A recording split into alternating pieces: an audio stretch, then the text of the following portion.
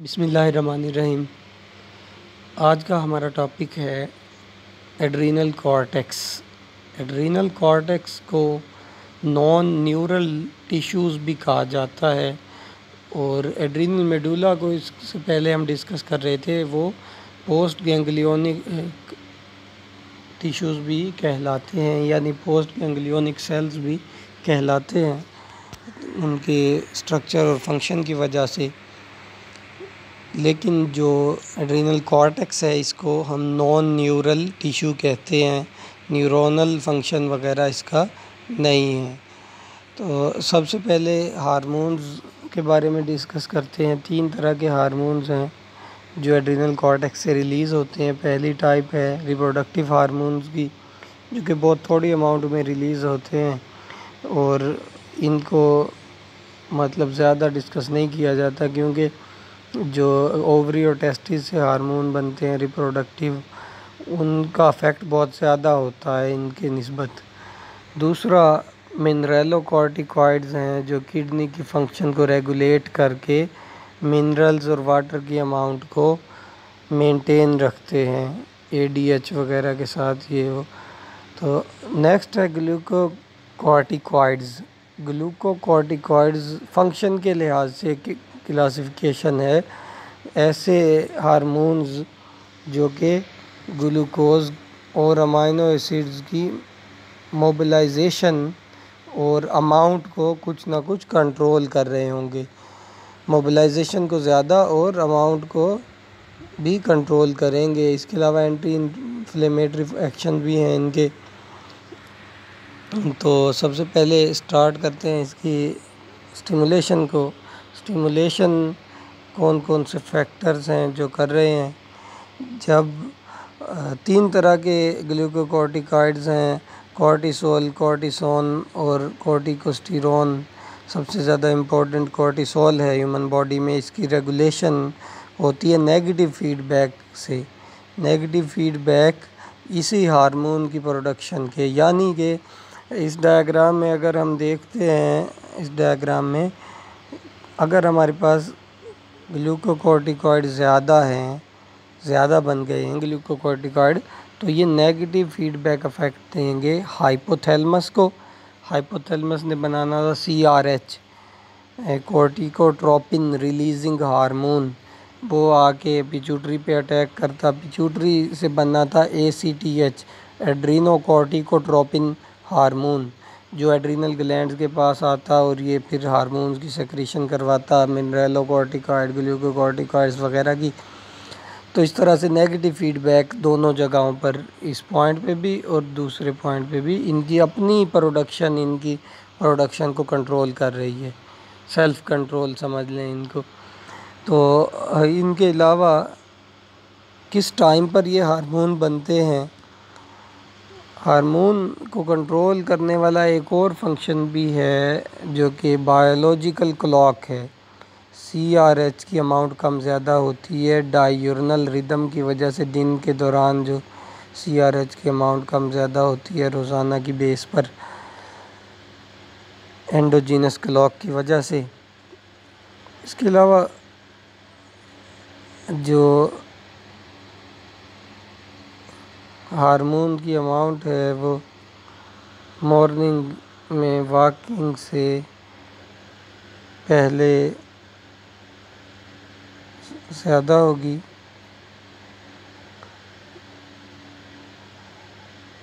अब जो basal glucocorticoid का लेवल है, वो बढ़ता है उस टाइम पर।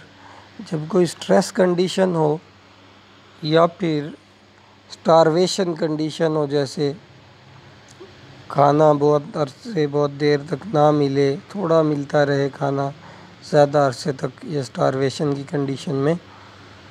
फाका जिसे कहते हैं।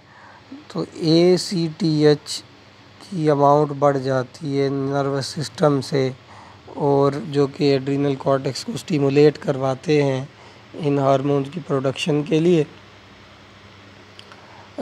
अब ग्लूकोकॉर्टिकॉइड का फ़ंक्शन देखते हैं।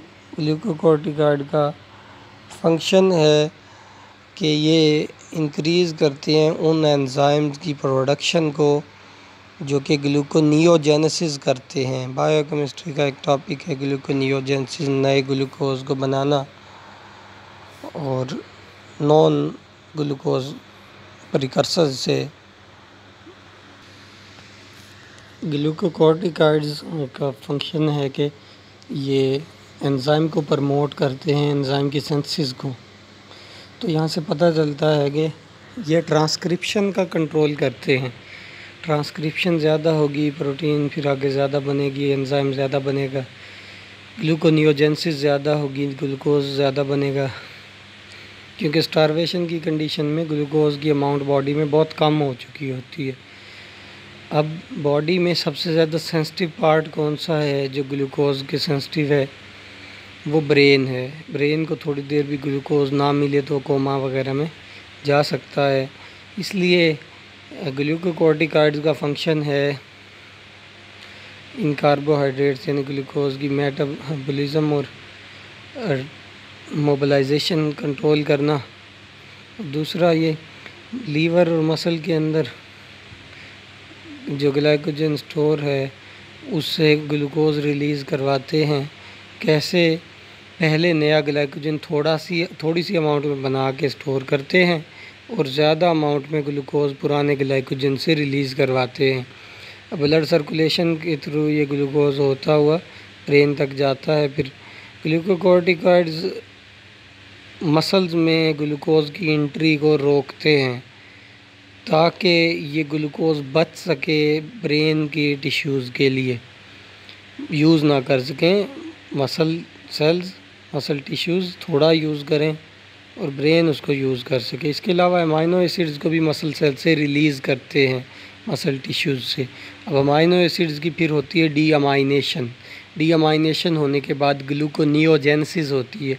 ग्लूको मीन्स ग्लूकोज रिलेटेड या फिर carbo sugar related and neogenesis mean new formation तो नया ग्लूकोज बनता है नॉन ग्लूकोज परिकर्सर से, नॉन कार्बोहाइड्रेट परिकर्सर से,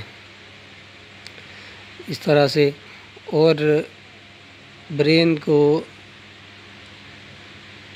थोड़ी अमाउंट में भी अगर हम खुराक खाते रहें तो ग्लूकोज मिलता रहता है। एडिपोज टिश्यूज़ से फ़ैट्स को निकालते हैं ये, और फैट्स की कन्वर्जन करते हैं, वहाँ पे फिर दोबारा उनसे ग्लूकोज बनाते हैं। इस दौरान ग्लूकोकॉर्टिकॉइड जो हैं वो गैस्ट्रिक सेक्रीशन को बढ़ा देते हैं ताकि हम अगर थोड़ी भी खुराक खाएँ तो गैस्ट्रिक सेक्रीशन ज़्यादा होने की वजह से उनकी डाइजेशन ज़्यादा हो सके और ज़्यादा एक्सट्रैक्ट कर सकें, हम ज़्यादा एब्जॉर्ब कर सकें। इम्यून का रिस्पॉन्स जो है इम्यून सिस्टम का उसको स्लो करते हैं ताकि एक्स्ट्रा जो एनर्जी है बॉडी की वो ना लगे। इसी वजह से जो लोग ज़्यादा नहीं खाते खुराक, जिनकी बहुत कम होती है, कहत से गुज़र रहे होते हैं, जो उनका मुदाफ़ियाती निज़ाम जो है वो स्लो हो जाता है रिस्पॉन्स है इम्यून सिस्टम का वो स्लो, इस वजह से कि उन्हें एक्स्ट्रा एनर्जी अपने डिफेंस में ना लगानी पड़े, वही एनर्जी उनके ब्रेन वगैरह को मिलती रहे। मोड अफेक्शन इसका अभी डिस्कस नहीं कर रहे। मोड अफेक्शन के लिए इस पूरा टॉपिक हैं कि कैसे हार्मोन एक्शन करते हैं। बहरल यहाँ पर सिर्फ़ इतना भी क्लियर करते चलें कि ये ट्रांसक्रिप्शनल कंट्रोल करते हैं तो उससे ज़्यादा एंजाइम्स बनते हैं। जो मिनरेलोकॉर्टिकॉइड्स हैं, उनको हम डिस्कस करेंगे वाटर बैलेंस वाले टॉपिक में कि कैसे वाटर और मिनरल बैलेंस होते हैं। रिप्रोडक्टिव हार्मोन्स को हम रिप्रोडक्टिव सिस्टम वाले टॉपिक में डिस्कस कर चुके हैं, वही टेस्टोस्टेरोन वगैरह स्टाडाइल हार्मोन ये सारे मेल और फीमेल हार्मोन सेम हैं जो ओवरी और टेस्टिस से रिलीज़ होते हैं।